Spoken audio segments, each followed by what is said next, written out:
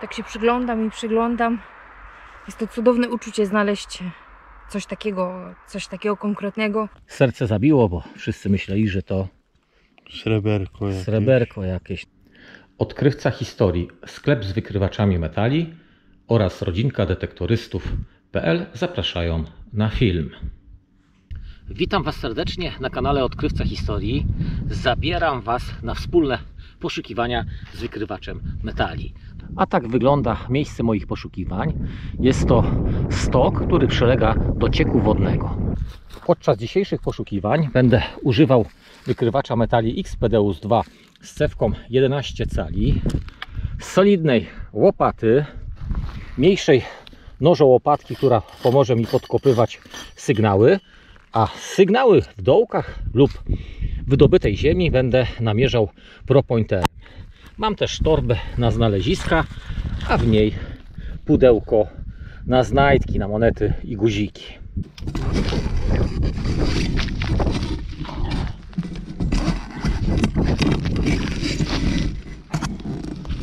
Pierwszy sygnał, który mnie zaczepił, to moneta. Moneta jednofeningowa, wydana w 1943 roku i wykonana z cynku. Niestety monety, które są wykonane z cynku i poleżą trochę w ziemi, są w kiepskim stanie zachowania, niekiedy niemożliwe do odczytania.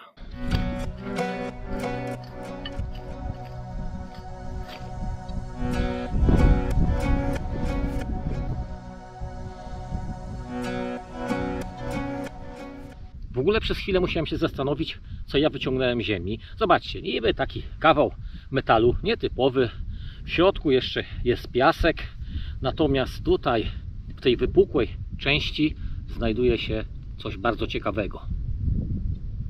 Po oczyszczeniu szczotką bardziej udało mi się wyeksponować te napisy. Okazuje się, że jest to monogram. Zobaczcie, FR i jest korona.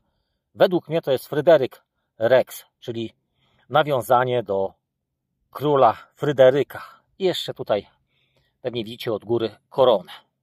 Natomiast pozostaje jeszcze do wyjaśnienia zagadka, gdzie ten element był wkomponowany, do czego to służyło, w jaki sposób to było wyeksponowane na zewnątrz. Przecież to był monogram, monogram FR, czyli Fryderyk Rex, czyli coś bardzo istotnego. Ciekawe na czym to było przypięte.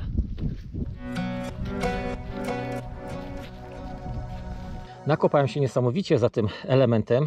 Mosiąc ciężki, ale zobaczcie jak pięknie zdobiony. Prawdopodobnie jakiś element świecznika lub czegoś innego, co było ozdobą w salonie czy w pokoju. Pięknie to wygląda, piękne wzory. Jak się oczyści, to oko bardziej będzie się cieszyło. Spójrzcie, jak to ślicznie się prezentuje. Szkoda, że nie cały, niekompletne.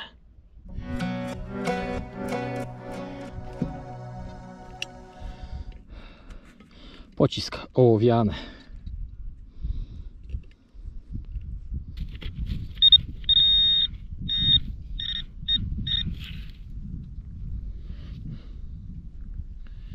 Co to jest? Co, co, co to jest? Co to jest?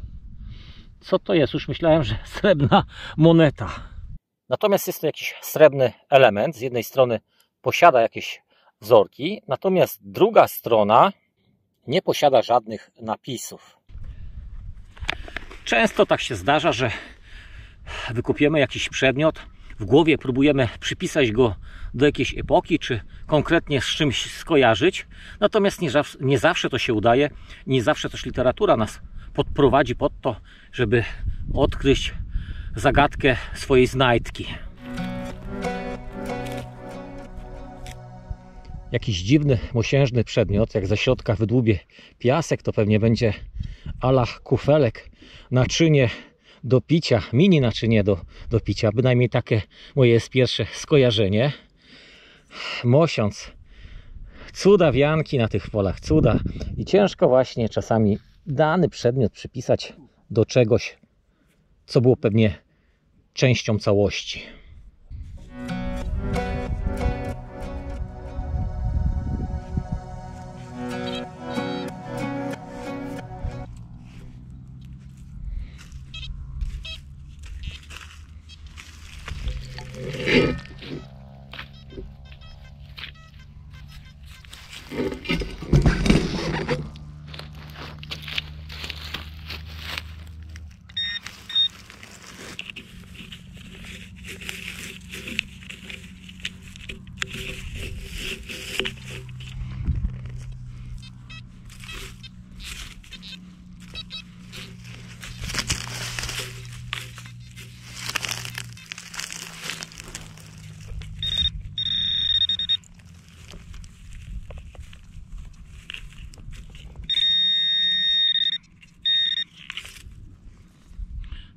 A, a co my tu mamy? Co my tu mamy?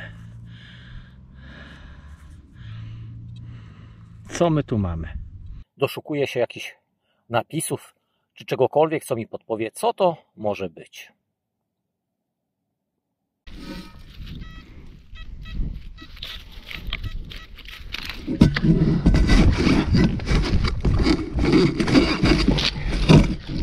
Twarda tutaj no jak nic. No ale trzeba się przez to jakoś przekopać.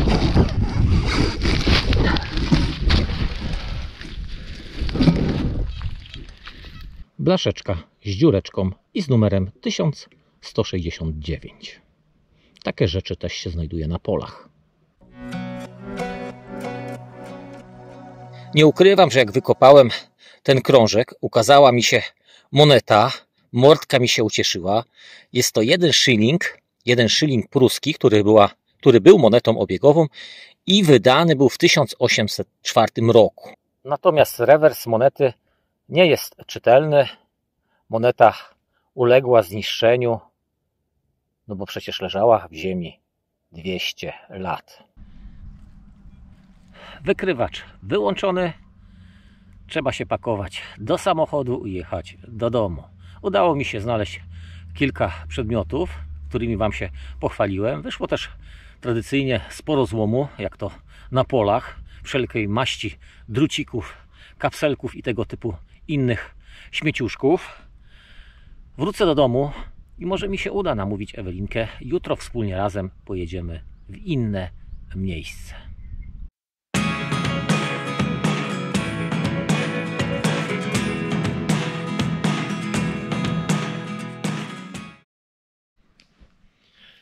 Witam Was serdecznie w nowym dniu. Nowy dzień zaczynamy od oglądania telewizorni i budzenia Hani. Do wybudzania i Do do, zeróweczki. I Tosi. Gdzie Ty zaraz idziesz? Powiedz nam. Zostaję w domu. No, ja cię zostanę w domu. Zostaję w domu. Ciężko jej chodzić do szkoły. A pokaż naszym widzom uśmiech, jaki Ty masz piękny. Nie, No nie wstydź się, pokaż. nie. Wypadły Hani wszystkie ząbki. Jak się uśmiecha, to mamy taką małą polewkę. Tato, a Wiktor powiedział, jak szła stara babcia, to Wiktor powiedział w Gałdowie. Hania, to twoja mama idzie. Nie widziałam, że i tak szybko zmarszczki się zrobiły. Ha, ha, A, ha. wy to macie pomysł. A ty też masz zmarszczki, zobacz, nie? Także odstawiamy Hanię do przedszkola, A ty. Do szkoły, a my wyruszamy po śniadaniu na poszukiwania. E, e, e, e, powiedziała mama, że do pracy. No Do pracy też. A co, chcesz z nami jechać na poszukiwania? Tak. Czekaj, czekaj. Obejrzyj się. Idziemy.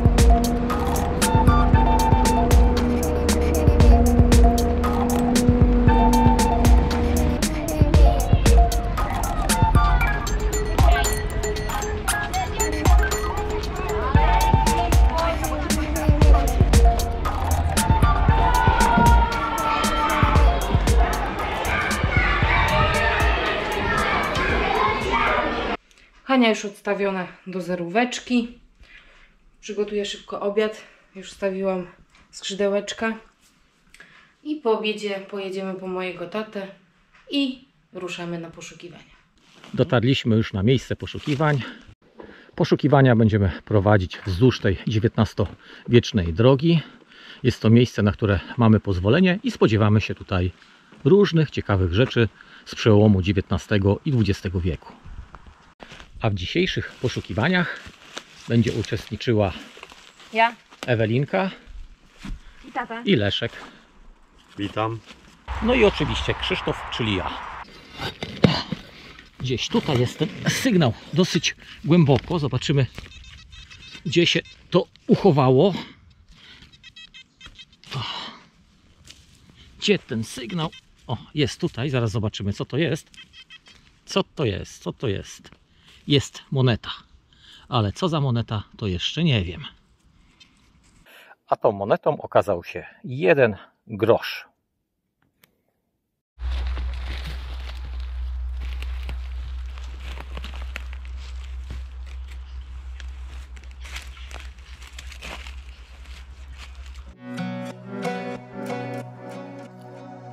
I to mi się podoba. Już pierwszy sygnał na otwarcie naszych poszukiwań. I jakieś pudełeczko, ale nie wiem. Forman. A w środku. O kurde, taki proszek.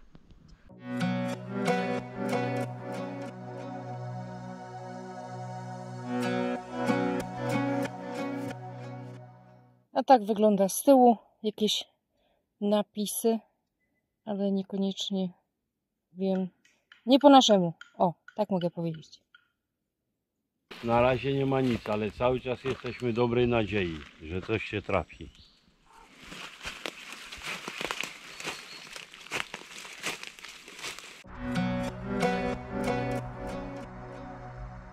Ewelinka znalazła pudełeczko, a ja znalazłem taką oto klamrę, która jest w bardzo ładnym stanie zachowania. Serce zabiło, bo wszyscy myśleli, że to Sreberko jakieś. sreberko jakieś. Natomiast jest to jakieś pudełko z dziurką i I zawiaska nawet do otw- otwierania. To coś, tylko na razie nie idzie tego ruszyć. tosca, tosca, cokolwiek oznacza. Trzeba będzie w jakiś sposób zidentyfikować, do czego to mogło służyć. Ewelina narobiła wrzasku, krzyczy, żeby podejść. No to podejdziemy, podejdziemy wspólnie, zobaczymy, co ciekawego znalazła, bo mówi, że nie jest to moneta, a jest to coś bardzo ciekawego. Chodź, panie, chodź. Chwal się, chwal, A nie będziesz zazdrościł? się okaże. Tada! Ło, ło, łożełek. Ale Łoże... ten orzełek bardziej mnie ucieszył niż yy, moneta. No bo tego typu rzeczy nie spotyka się na co dzień. Zaraz sobie tylko dojdziemy, od czego ten orzełek jest. Spójrzcie sami na te cudeńko. Te orzełki są bardzo delikatne, wykonane z cienkiej blaszki, a zachował się w idealnym stanie. Wręcz w idealnym. Na piersi widać monogram FR, czyli Fryderyk Rex. W łapach w szponach trzyma miecz i berło, a na głowie ma koronę. Z drugiej strony prezentuje się w taki sposób. Na skrzydełkach po lewej, po prawej stronie widać, że były elementy mocujące, natomiast one odpadły. Odpadły i komuś pewnie się to wysypało, spadło z ubrań. Tylko trzeba zidentyfikować, czy to jest wojskowy, czy administracyjny orzełek.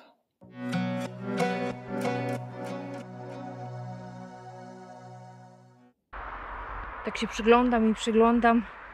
Jest to cudowne uczucie znaleźć coś takiego, coś takiego konkretnego, aniżeli ciągle tylko to i to. Oczywiście zbieram.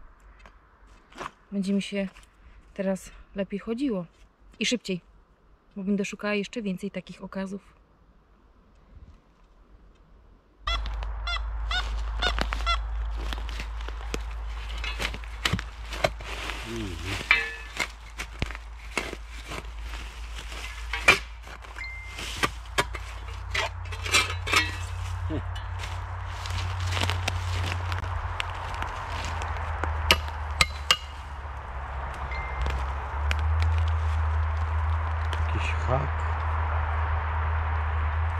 wszystko.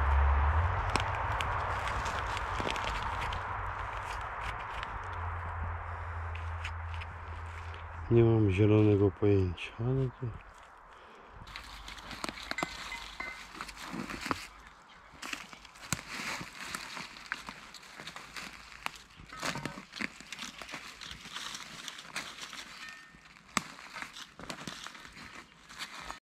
A tym razem moneta a na niej nominał 1. Jest to niemiecka moneta.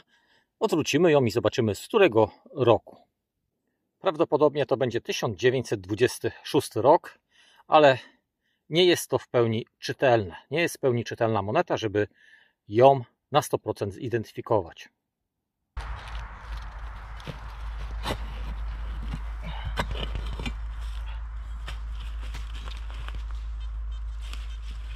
Gdzieś tu będzie sygnał. O, o, o, o, o, Kop, czekamy na efekty. o, o, o, o, Co masz? o. Monet. Nie, ej, guzik. Myślałem, że coś poważniejszego, a to tylko albo aż guzik. Natomiast koło guzika był bardzo głęboki sygnał. Wyciągnąłem go i okazało się, że jest to jakaś nakrętka z napisem Togal.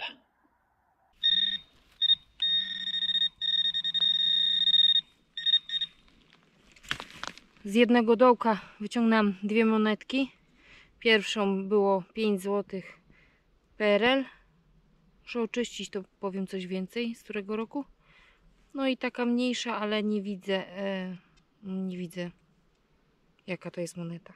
Ale też PRL, bo z tyłu. Co ma? Orzełka. Komuś się posypało.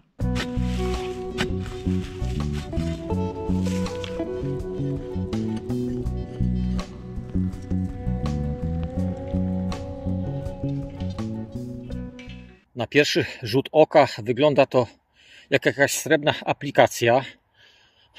Przyspieszyła ona u mnie akcję serca, bo pięknie się prezentuje. Druga strona ma jakieś przypięcie, jakąś, nie wiem, czy to część od szelki, czy jakiś zatrzas, do, do, do którego to było mocowane. Ciężko mi powiedzieć, natomiast, natomiast to wygląda w taki sposób. Zobaczcie, pięknie to się prezentuje. Nie jest to raczej srebro, a robi niesamowite wrażenie. Odłożymy to do pojemnika. Dzisiaj, jak na razie, dzisiaj dwie znajdki dnia: Ewelinki, orzełek i to, co mi udało się znaleźć. Robota w lesie dobrze zrobiona. A teraz czas zrobić sobie przerwę. Muszę Wam powiedzieć, że jestem bardzo zadowolony z tego miejsca i z faktu, że po raz kolejny udało nam się wytypować ciekawą miejscówkę na poszukiwania wykrywaczem metali. Analizując mapy z XIX wieku, no, zauważyliśmy, że droga, która dzisiaj też jest drogą publiczną, funkcjonowała już wcześniej i prowadziła ona do starej leśniczówki i do jeziora. W związku z tym kręcił się tu człowiek, a jak się kręcił człowiek, to coś gubił. No i my to poprzez to, co znaleźliśmy, jesteśmy w stanie potwierdzić i zbudować jakąś historię tego miejsca. Na tym etapie robimy sobie przerwę taktyczną, a później wracamy do poszukiwań.